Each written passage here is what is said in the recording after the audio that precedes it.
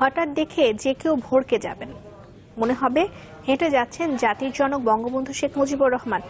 চেহারাটা প্রায় তার মতন, পোশাক আশাকও পরেন একই। নাম আরুক মুন্সি। সরাসরি রাজনীতিতে যুক্ত না থাকলেও বঙ্গবন্ধুকে মনে প্রাণে ধারণ করেন তিনি। শুধু তাই নয়, কৌতূহলে তার সাথে ছবিও তোলেন অনেকে। আরও জানাচ্ছেন রাজীব আহমেদ রাজু, ছবি তুলেছেন মিসবা আমিন। জাতির জনকের একনিষ্ঠ ভক্ত আরুক মুন্সি।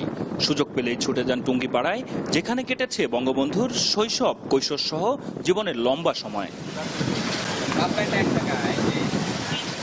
বঙ্গবন্ধুর সঙ্গে চেহারার মিল এতটাই যে হঠাৎ করে দেখলে যে কেউ বিভ্রান্ত হবেন। বিশেষ করে যখন তিনি বঙ্গবন্ধুর মতো পোশাক পরে বের হন, তখন তাকে ঘিরে ধরে সাধারণ মানুষ। বঙ্গবন্ধুর প্রতিকৃতি এবং বঙ্গবন্ধুর মতন আসলেই দেখতে থাকে বঙ্গবন্ধুর যখন যৌবন বয়স তখনই কিন্তু এইভাবেই চেহারা ছিল তার। ওর ওই প্রতিচ্ছবিটা দেখে? বঙ্গবন্ধু শেখ মুজিবুর রহমানের কথা আমার মনে পড়ে গেছে। হঠাৎ একদিন আমরা চমকেই গেলাম যে বঙ্গবন্ধুর ছবি আমাদের মাঝে এখনও জীবিত আছে। যে আসলে ওনার দেখার জন্য এখানে আসছি যে আসলে উনি বঙ্গবন্ধুর মতো দেখতে কিনা। এখন প্রকৃতভাবে যতটুকু আমি তো ওনারে দেখলাম আসলে প্রায় সেরকম উনি দেখতে।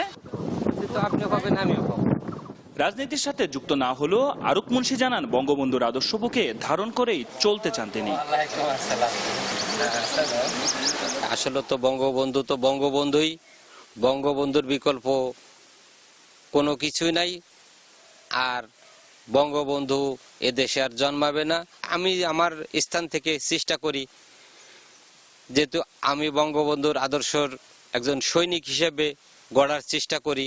যতটুক সম্ভব। গোপালগঞ্জের কাশিনী উপজেলার প্রত্যন্ত গ্রামে জন্ম নিয়ে আরুক মুন্সি চাকরি করেন ঢাকার একটি প্রতিষ্ঠানে। জাতির জনকের স্বপ্নের সোনার বাংলায় নানা অনিয়ম আর অনাচার তাকে কষ্ট দেয়। মানুষে মানুষে ভেদাভেদ এই ধর্ম নিয়ে রাজনীতি এটা আমার খুবই অপছন্দ এবং এখানে এতে আমাকে পীড়া দেয় যে বঙ্গবন্ধু থাকলে আজকে আমাদের এই অবস্থায় পড়তে হতো না। তারপরও স্বপ্ন দেখেন, বঙ্গবন্ধু কন্যার হাত ধরেই দেশ আরও এগিয়ে যাবে। Rajib Ahmed Raju channel twenty four Gopalganj.